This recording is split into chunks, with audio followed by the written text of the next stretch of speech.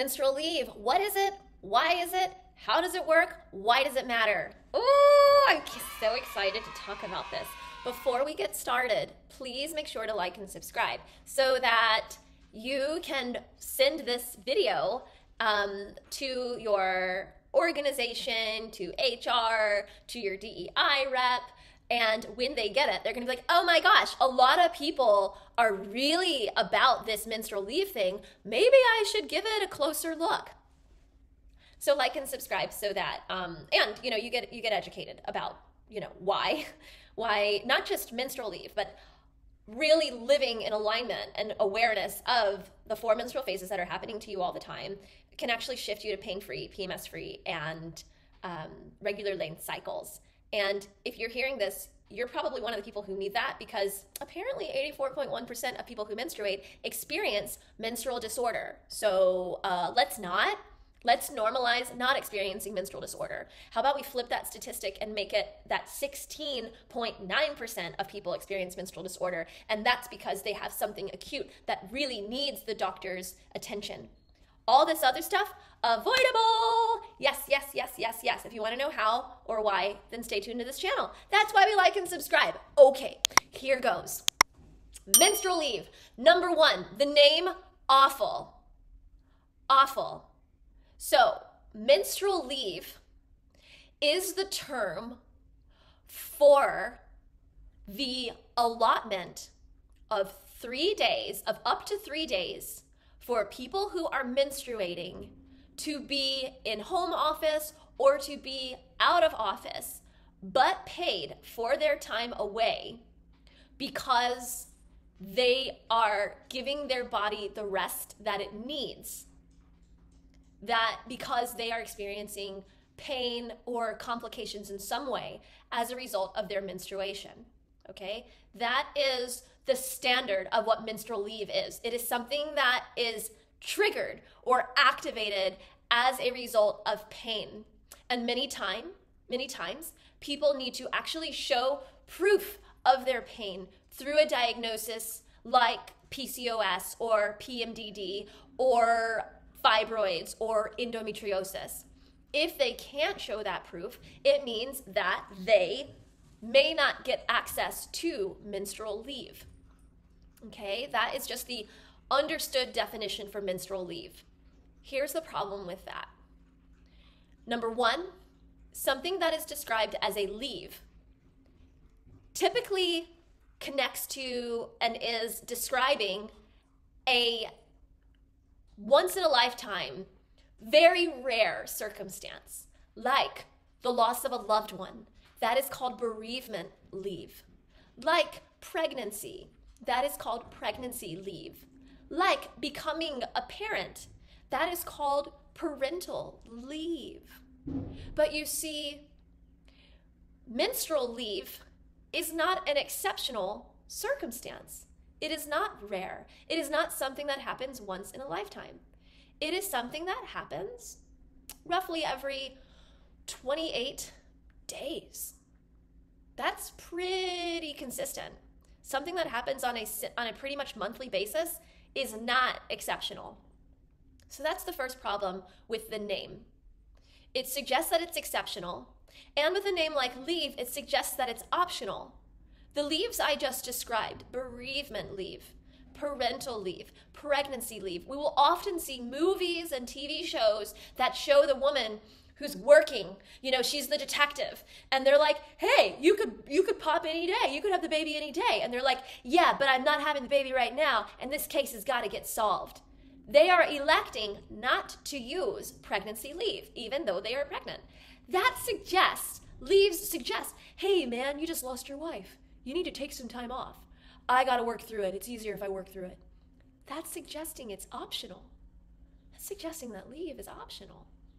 But you see, this thing that's happening in our body that many of us have come to realize is happening and that we have put it, you know, we've, we've underscored that this is something that needs attention. We've underscored that it needs attention because of because of being in pain. But actually, this restorative moment that happens to every person born with a uterus who is menstruating. This time of restoration is very specifically set up for us with the expectation that we, that our whole lives are dedicated to helping our body restore. This is a physiological happening event. Very, very, um, not traditional. What's the word? Expected, normal. It is a normal thing that is happening from our body's perspective. The people who are born without a uterus, many of us know them as men, but you can identify however you wish. They live with a 24 hour hormonal cycle. So they get everything that they need, including restoration, including rest, orative, restorative time when they go to sleep at night. Because it finishes that fourth part, that fourth phase of their hormonal cycle finishes at night when they are sleeping. The body expects itself to be allowed to be stimulation free. It lowers its energy level so that it can restore itself within. It can put all of its energy focusing on restoring its physiological needs within. It's not worried about alarms going off, interacting with others, exchanging energy. None of those worries are taking place. It's not worried about being fed rich food that requires more um, more digestion, more digestive energy needed. It's not it's not expecting to do any of that. It's expecting to take care of itself, to restore itself so that it's ready for the next 24 hours. Well, the same thing is happening during those first 3 days of our menstrual phase. The fourth phase of the four menstrual phases. The final part of our journey over the 28 days, the finishing part, the time of expression. Our menstrual lining is expressed from our body. It's the cleanup after the concert. You know, we plan for the concert, we load in all of that, oh, we're going to do something, that energy, that's in the phase that follows this one, that beginner's energy, that energy of beginning, because we've cleaned up and we've and we've gotten ready. We've restored ourselves to be ready to do this thing again. Okay? So your body expects it to happen. And as one of our members in the collective described it, before she was aware of what was happening physiologically, she called it her Red Bull days. She didn't drink Red Bull for her 20 for most of her cycle, and then the day of her period, she would have to pound Red Bull to keep her body functioning at the level that she needs it to function so that she can get through her day because her body level was so her energy level was so low. It's low for a reason. It does not expect to be functioning for the outside world. It needs its interior time. It needs its restoration.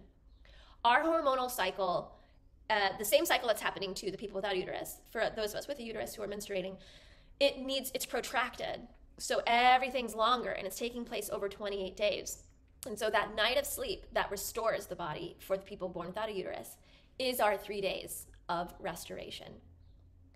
When we give our employees, our CEOs, when we give the people in our organization that time to restore, which might look like home office, when our people are instructed make sure to schedule tasks that are very, very easy, that don't require a lot from you, because you need to let your body restore. You need to let it do what it needs to do, and you need to give it as many opportunities to disconnect from the world so that it can find its wholeness, so that it can come with full energy into the world in the following phase. If you want that effect. And by the way, when people do restoration during their first three days of their cycle, whether or not they're in pain, their body gets to restore. And like a slingshot, their energy goes back to shoot forward with so much more energy than it would be if they never got the chance to let their body restore. The same opportunity that we give if we don't have a uterus that we give ourselves every night when we go to sleep. We would never let somebody go through their day if they had to do an all nighter before. We'd probably say, Why don't you go home and restore? Yeah. It's happening to every single one of us who are menstruating. And when we invest in that time of rest, the next cycle, we have people showing up in their 100% because they're not trying to reclaim and restore themselves in the other phases because they didn't get what they needed at the time when they were supposed to get it. Think of somebody who is um, on a bike, riding the bike, and they get a flat tire. And they're trying to fix the flat tire while they're still on the bike. They're, they keep pumping more air in that flat tire to keep the bike going. If they just got off the bike and fixed it, it would work. Optimal performance. And then let's say the tire goes flat every 28 days. Well, they know that the tire is going to go flat, so they fix it and they give it what it needs and they, they know what's going to happen so they can prepare for it. They make sure that on their route, they are in a place that is safe, that is comfortable for when the tire breaks down. They can be strategic about what happens with that tire so that when they are riding the bike, they can show up 100% on that bike ride. I keep giving you metaphors because one of the biggest arguments against menstrual leave is that well if people who, who are born with a uterus have menstrual leave then people born without a uterus should also get those days off they don't need the days off. Their tire does go flat. It goes flat at the end of every bike ride that they take, and they refill it. They don't need this time. And by the way, the time that is spent in restoration is more than made up for in the following phase, which I call soldier phase, which biologically speaking is called follicular phase. It's more than made up for because we are physiologically set up to do things more quickly we have more energy. All of our senses are on fleek, so we have a higher attention to detail. There are tasks that we get done in a phenomenal way in the phase that follows the time of restoration, which I call priestess, which we know as menstrual phase. When we, those can effect so powerfully when we're not handicapping them by not giving ourselves the wholeness of the preceding phase. So, Number one, I've said number one like seven times. First, change the name. It's not menstrual leave. And in fact, by continuing to use that name, we are continuing to fuel the argument in uh, that is against having it at all because it sounds optional. Number two, the three day restorative, which is what it should be called because that's what's actually happening. The three day restorative should not be limited to those who are experiencing complications with their menstrual cycle. It should be an non negotiable expectation of every employee at every level in a business because every person's body needs it so that they can show up 100% according to how they are physiologically set up to operate. Let's not try to override what we are. Let's embrace what we are so that we can impact in a way beyond our wildest dreams. And I get to see it every day. And lastly, let's make it okay to take time for our rest. Let's not punish each other. The people who I see coming out the hardest against menstrual leave are people who menstruate and people who are born with a uterus. They're the ones who are the most, who, who throw the most shame on people who are trying to make this happen. It's not an uncommon phenomenon that we come down the hardest on ourselves. It happens racially, it happens in social class, it happens gender, you know, along gender lines. But we don't have to continue that way. We don't have to look at things as having two sides. We can just support each other and support and encourage our innate givens, our innate strengths. Because, baby, we were born this way. That's nothing to be ashamed of. In fact, it's quite majestic. Wishing you joy, ease, space, and grace.